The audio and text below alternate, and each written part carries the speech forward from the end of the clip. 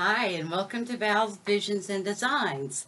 Um, one of my very faithful followers, Kelly, uh, asked me if I would show her how I made a beehive using a Dollar Tree pool noodle. Now, I wanted a smaller beehive to go on a wreath, and you can, of course, make these so many different ways, but I just happened to have this in the in my stash. It was around the house, and I thought it would work. So the first thing that I do is I cut a piece of cardboard uh, to fit over the bottom.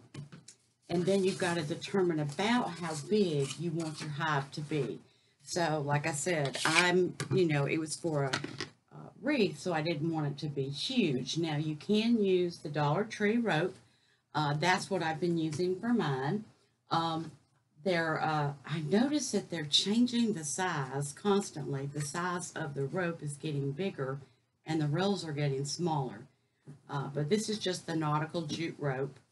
Um, then I just have a couple of little sunflowers. I got these from Dollar General for a dollar. You can get those at Dollar Tree. Um, the other thing that I did order from Amazon were the little bumblebee buttons, just so you can put a couple of the little bumblebees on your hive. So how I shape it and I'm going to make this one, oh, I've got my mat backwards. Let's see. I want to say I started off with about a six inch piece. Let's do, let's do six. And I just have a, a good, uh, serrated edge uh, kitchen knife that I usually cut with. And uh, then I just kind of started shaping it and rounding off the top. So I know this gets a little bit noisy until you just round it to about the size you want it. So I'm just basically just cutting off and rounding out my little beehive just so it'll be a little bit uh, rounder at the top. It doesn't have to be perfect.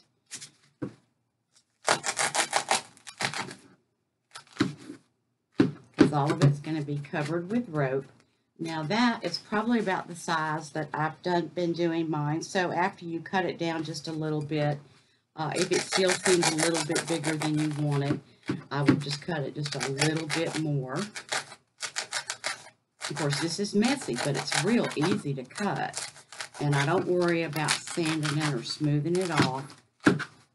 You know, it's just a pool noodle, a dollar pool noodle. Like I said, it just happened to be what I had in my stash. Just going to even it out a little bit.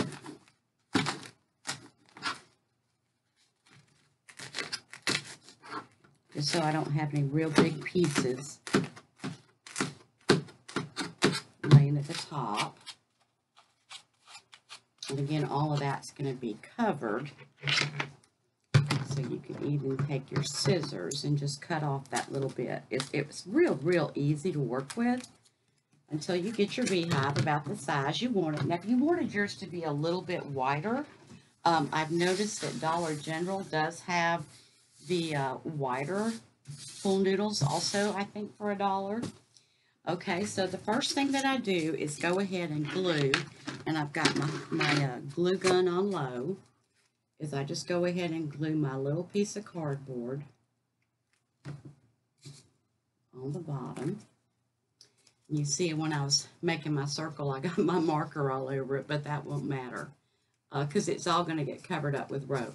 Now, usually I do the sides first, and then I'll come back and do the bottom. And then just cut open your nautical rope.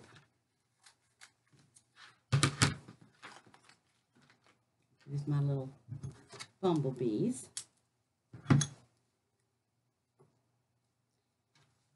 And then I usually leave a little bit of that tape on just so that edge doesn't get so rough. Let me go ahead and cut it because that's a, a lot of, of waste. Maybe I better cut it with a pair of scissors. There we go. I'm just going to put a little tiny bit of hot glue right there where I cut it.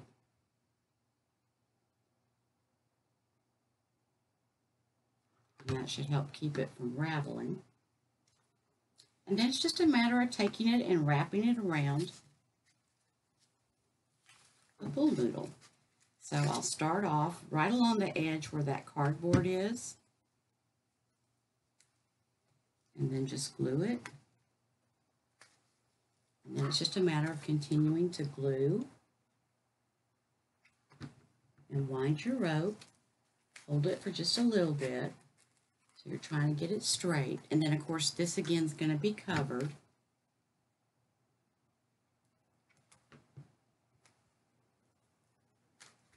And probably the hardest part is getting started. Uh, once you get it started, it goes pretty quick. And especially since this rope is getting thicker and thicker. So right here where they meet, that's where I'll start my piece on the bottom, if you can see that right there. And this is generally what will be in the back. So I want to say it's been taking me about one and a half packages of the rope but another thing that I'm really, really good to do is I save the rope off of my signs that I get for my wreaths. And uh, this rope is really good for fill-in. Uh, if you need to fill in like a little spot, um, I save all that stuff. I don't waste anything. and again, like that right there where you have that, that's where I'll start uh, wrapping around the outer, I mean the bottom. And it's just a matter, I kind of keep my glue on the rope, uh, not so much on the foam, because I don't want the glue to seep through. And then every now and then there's these weird little pieces, because, you know, it's Dollar Tree. I just kind of snip those away. You just want to keep it pushed down tight.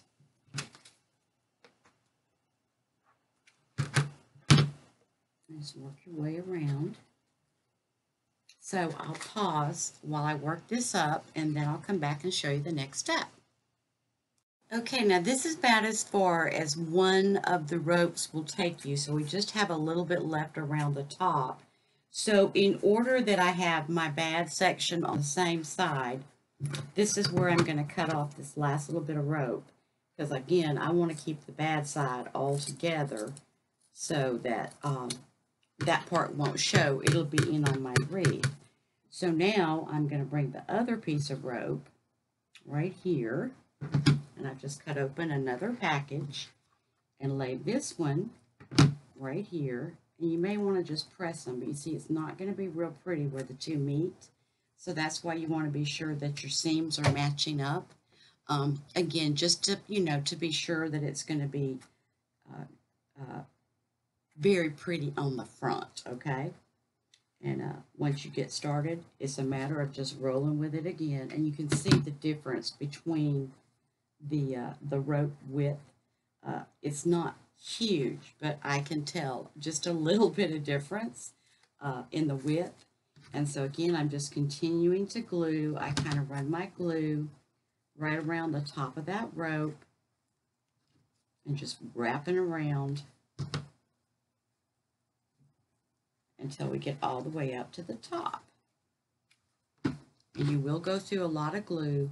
Now, I am using my low temp and I do um, use my small glue gun because my large glue gun just puts out way too much glue. And I'm going to put a little, little tiny bit more glue right here where I started those two pieces over. It's just a matter of continuing to wrap it. I said it really doesn't take long. Uh, as long as you keep it on low, it, it, it's good. You won't, you shouldn't get burned. Sometimes I goof and I think I have it on low and it's not and it's on high. And that's when I get burned. So I'm just continuing to push it, wrap it, hold it.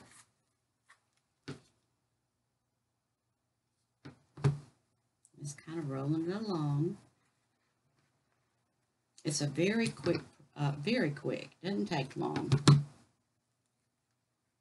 And like I said, it's using something that's very simple, uh, a pool noodle that you can mold and shape. Uh, like I said, if you wanted to make a bigger one, I made a bigger one for my wreath uh, that I made on uh, Friday on my, no, Saturday on my live. And uh, I actually used a large uh, coffee creamer container and then attached a piece of foam to it. But if you can find the larger pool noodles, you could make it larger and you wouldn't have to use anything else. So I'm going to finish this up. Uh, you'll wrap all the way around the top and then just kind of twist it in and kind of push the edge into that hole. And then I always put a flower on top to kind of camouflage that. Be right back. All right, I'm going to show you how I finish out the very top. I've just been winding it around and you just keep winding it around. And then once you get that last little bit wound around, I just kind of take it and push it down into the hole.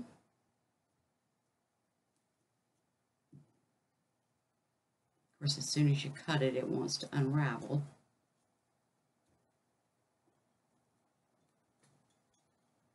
And for the most part, you can trim down some of that.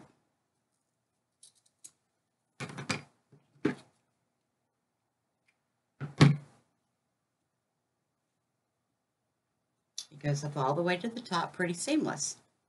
Okay, so now while that dries, then I come down to the bottom uh, where I left off. Now this is actually a piece of another one that I had left because out of the two packages, you'll have this much of it left. So it takes just a little over uh, one package. So now I'm just going to come down here, right where I had started earlier, and begin. And you're just going to stay, sorry, new glue stick, right on the rope and just continue to wrap around circular.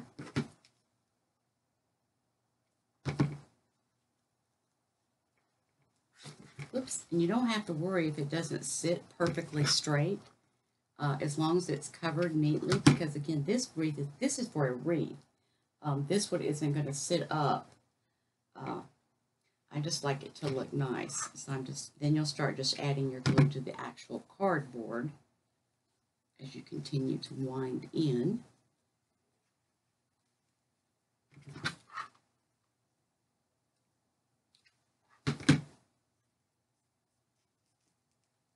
And if you wanted to use, uh, you know, nautical rope that you pick up from Walmart or uh, another craft store, uh, you wouldn't have to piece together, but you really have to piece it together just a little bit anyway. So, you know, for one this size, uh, you might as well just pick up the Dollar Tree uh, nautical rope unless you have the other, you know, already in your stash. And then again, I'm just going to kind of push it into that circle. So I'm going to go ahead and cut it off. Add my glue right to that center. And just kind of push it down in there and hold it. And I just kind of trim off the little frays.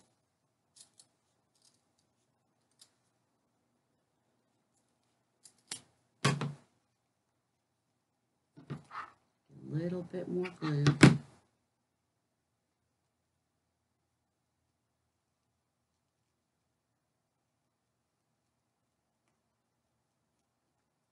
And now your little bee hive, or how did they call them another name too? skep is is through as far as this part goes. Now the only other thing to do, you see, it's not going to lay, it's not going to lay uh, or stand on its own very well. All right, so the other thing you want to do, again, look real careful to where your seams were because you don't want that part on the front. You're just going to take a little bit of your rope and cut a circle about the size you want for the opening. Let me stand up so I can see where I'm going with this one. Just make your circle. That's a little bit bigger than what I want it to be.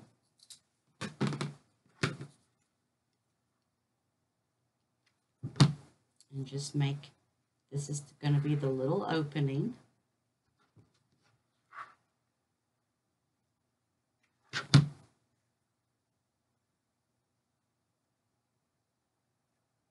and it doesn't need to be very big for this one.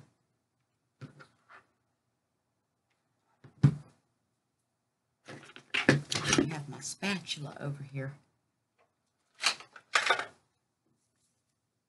Press that down.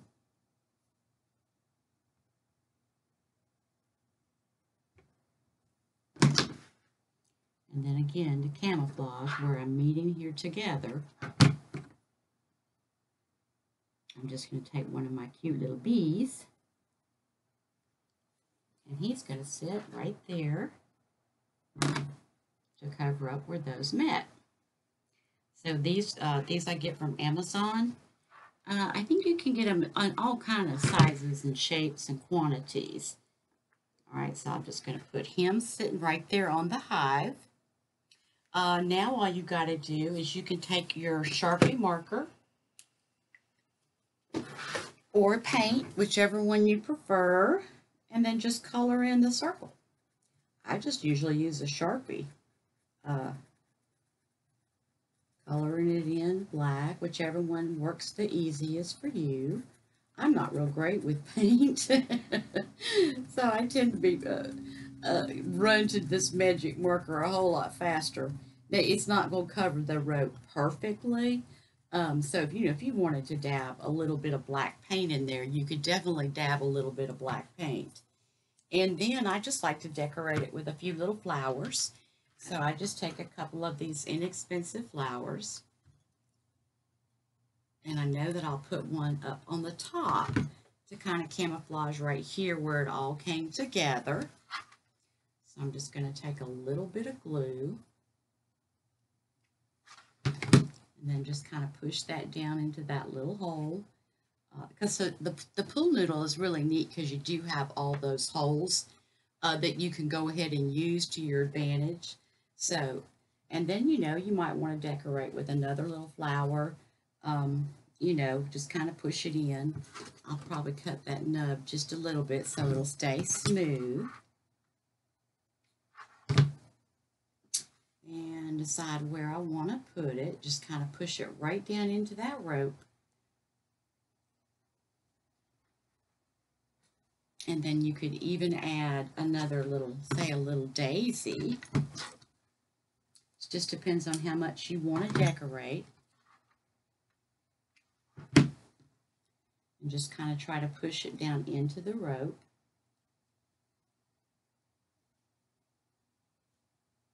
And then just add a couple little bees. Just a few here and there. I think I usually use about two to three little bees. Put one down here. And think I'm about out of bumblebees. But this is actually, I think, my fifth one of these I've made uh, and it sits down into, into the wreath. Really, really simple.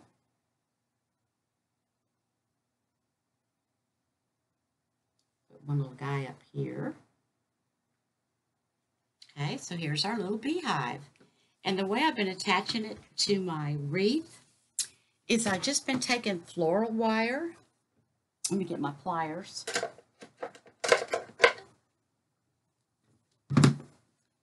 And this is the the 22 gauge floral wire, but it can be uh, anything that you may have on hand. I can't tie bows with this, so I'm putting it to good use. I pinch it together real tight.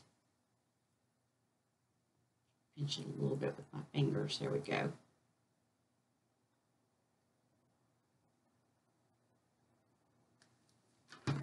And then I just take my ice pick and I'm going back to the back where all the all the ugly is, just poking a hole. I'll find a spot like that I go ahead and we'll go right up here where it's ugly anyway. And it goes right through that foam. And then I just poke this right down in there.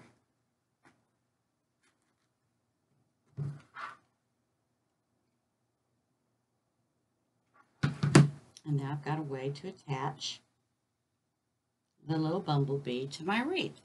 And I usually do two, so I'll probably do one more right here. Uh, same way, same, same exact thing. And that will hold it real secure and you won't see uh, any of the wire from the front. So you can decorate it, make it as big as you want to. Um, so they're not hard, they're very simple to make, but they really do add a little flair And then you can advertise it as a handmade beehive. There we go. Poke another little hole.